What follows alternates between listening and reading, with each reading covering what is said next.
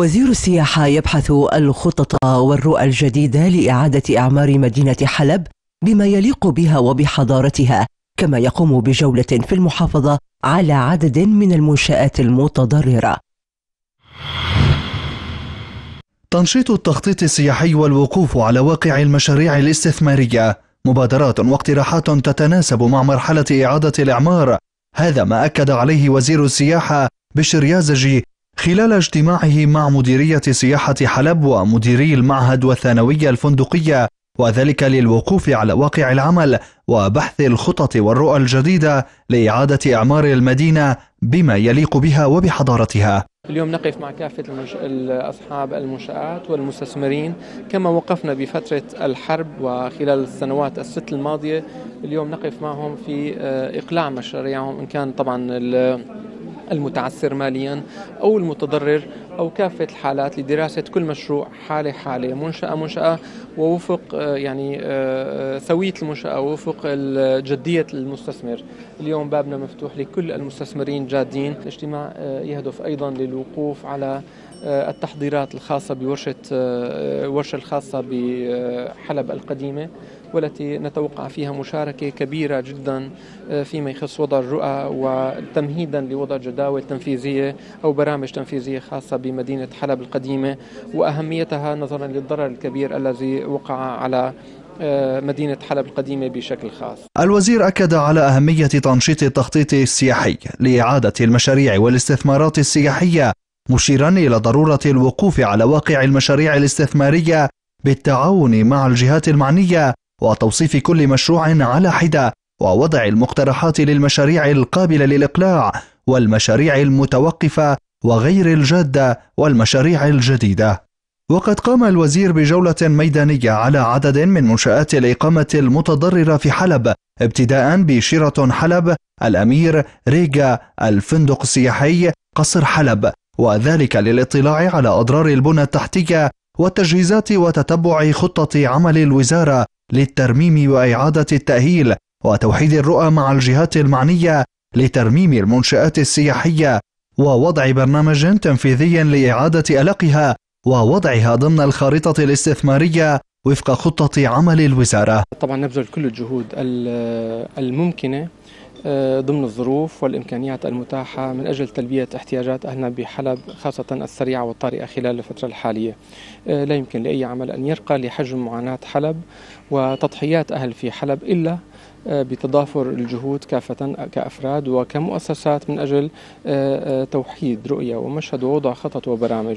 كذلك زار الوزير مبنى المعهد والمدرسة الفندقية وتفقد واقعها للإسراع في عملية التأهيل واستئناف العملية التعليمية للطلاب وإعادته أفضل مما سبق.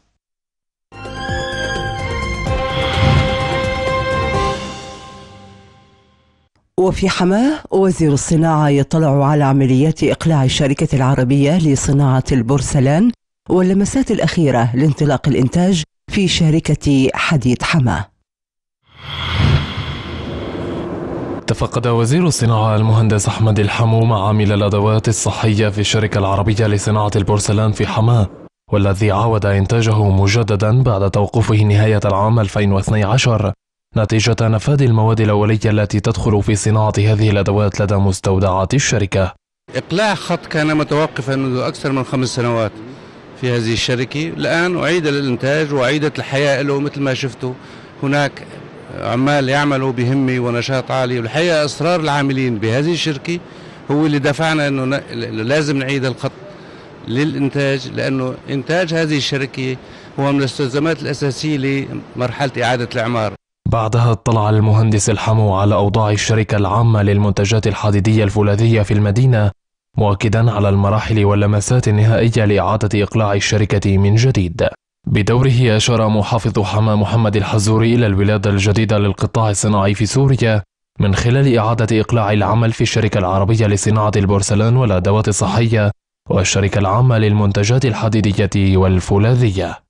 هذه الإرادة والصمود والإصرار من قبل سواعدنا الوطنية للبناء هذه أكبر رسالة نرسلها للعالم. هذا هو المواطن السوري هذا هو الشعب العربي السوري هذا هو العامل السوري. هذه هي مساعدين مساعد المهندسين أو مساعدين المهندسين السوريين الذين يبنوا رغم كل الحرب التي آه، شنت على سوريا آه، للنيل من البنى التحتية للقطر العربي السوري. إعادة عملية الإنتاج إلى العمل مجددا رغم الظروف القاسية التي مر بها قطاع الصناعة نتيجة الحرب على سوريا إنجاز كبير يسجل لصالح الحكومة السورية التي تسعى إلى إعادة سوريا إلى دورها الصناعي والحضاري كما كانت عليه.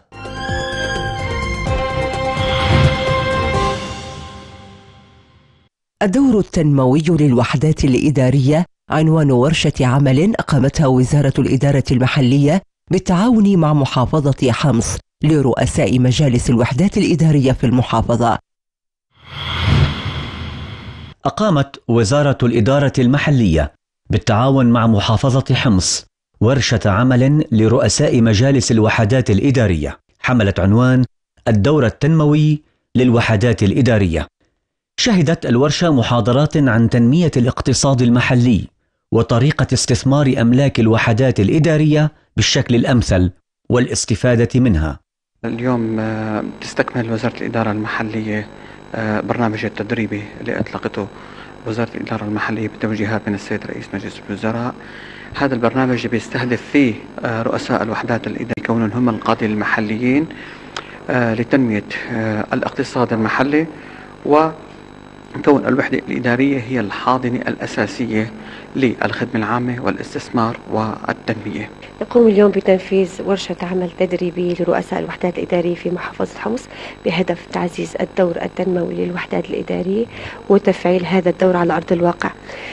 نركز في ورشة العمل اليوم على آه، عدة محاور. ورشة العمل تطرقت لدور المناطق الصناعية في دعم التنمية. وتعزيز الإيرادات المالية بما يسهم في تحسين الأداء.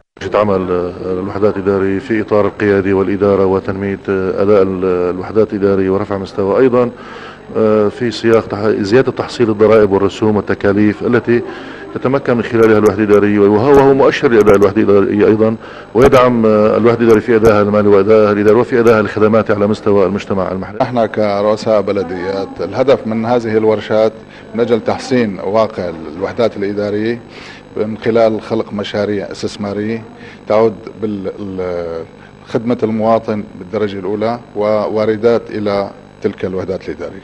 يأتي هذا البرنامج التدريبي استكمالا لمشروع تنموي أطلقته وزارة الإدارة المحلية لدعم الخدمة العامة والاستثمار والتنمية.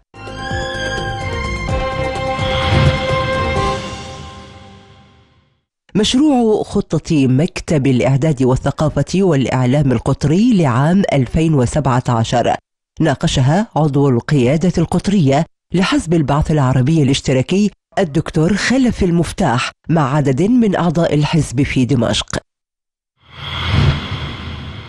ناقش عضو القيادة القطرية لحزب البعث العربي الاشتراكي رئيس مكتب الإعداد والثقافة والإعلام القطري الدكتور خلف المفتاح في محاضرة له مع عدد من أعضاء الحزب مشروع خطة مكتب الإعداد والثقافة والإعلام القطري لعام 2017 وذلك بهدف نشر فكر حزب البعث العربي الاشتراكي وبرامجه ومواقفه وتوجهاته عبر المنابر الحزبية وغيرها. هذا الاجتماع هو اجتماع آه، في بداية كل عام آه، تناقش فيه الخطة الثقافية والفكرية والسياسية للحزب ويقام أو يعمل على تقويمها وتطويرها والإضافة إليها آه، لكي تحقق الأهداف التي نسعى إليها من خلال أنها تركز على صناعة الإنسان المحب لوطنه المؤمن أيضا بتراثه المقاتل في سبيل وطنه المنتمي منتمي إلى جذر حضاري المنتمي إلى مشروع آه، وطني وسياسي. اليوم يمثله السيد الرئيس بشار الأسد آه، يدافع عنه ويقاتل من أجله آه، أبطال قواتنا المسلحة. الخطة أيضا في جانب منها تتعلق بالراهن وتحدياته الانتماء المواطنة صناعة الإنسان بشكل أساسي. الخطة التي وضعها المكتب تأخذ بالاعتبار جملة الظروف والتحديات ولا سيما خطر الإرهاب التكفيري وحرب الهويات التي تواجه سوريا والأمة العربية وسبل المواجهة المعرفية والمجتمعية لها والانتصار عليها.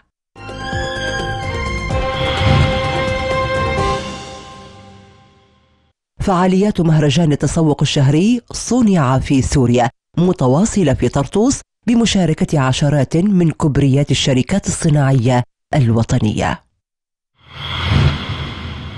بعد انطلاقه مطلع الشهر الجاري في محافظة طرطوس تستمر فعاليات مهرجان التسوق الشهري صنع في سوريا الذي تنظمه غرفة صناعة دمشق وريفها بمشاركة 110 شركات من كبرى الشركات الصناعية الوطنية وذلك في الصالة الرياضية بالمدينة. لاحظنا الإقبال السادة الزوار على المهرجان الاستفادة من العروض اللي عم يقدموها الشركات والحسومات كبيرة. يعني وجودة المنتج السوري اللي عم كل يوم عم يرجع لتألقه. يعني الصناعة السورية يعني معروفة كانت من أجود الصناعات من ناحية السعر ومن ناحية الجودة. الصناعيون المشاركون في المهرجان الذي سيستمر لغاية السابع من الشهر الجاري أكدوا أن الصناعة السورية ورغم الصعوبات ما زالت مستمرة بالعطاء والإنتاج والجودة والتميز. الإقبال كثير جيد. طبعا نحن دائما نتمنى إنه تكون أول دورة تنفتح بالسنة هي بطرطوس وآخر دورة تنختم بطرطوس. حتى السنة الماضية هيك كانت وهي السنة فتحناها بطرطوس. اسعارنا عم تكون 35 ل 40% حسوماتنا. الحمد لله مثل ما لك شايف الإقبال عم يزيد دورة عن دورة ويوم عن يوم. هذا بندل على شيء بدل على ثقة المواطن الكبيره بالمنتج اللي عم يقدمه الصناعي السوري. منيحه الحمد لله. أرخص من السوق بشوي. كل ما بيعملوا عرض آه، كل بعد ثلاثة شهور آه، عم نلاحظ في شغلات آه، عم تكون أرخص من السوق. في عروض كتير وفيه شغلات كتير حلوة. في الواحد يستفيد منها أكيد. المهرجان في دورته الحالية يشهد إقبالا كبيرا من أهالي محافظة طرطوسة ويعتبر محاولة متجددة للتخفيف عن كاهل المواطنين عبر تقديم السلع من المنتج إلى المستهلك مباشرة دون وسيط بالإضافة إلى أنه يقدم عروضا مغرية من تخصيص قسائم شراء لأسر الشهداء بمبلغ 500 ألف ليرة سورية مقدمة من غرفة صناعة دمشق وريفها وميداليتين ذهبيتين في السحوبات التي ستجرى ضمن المهرجان.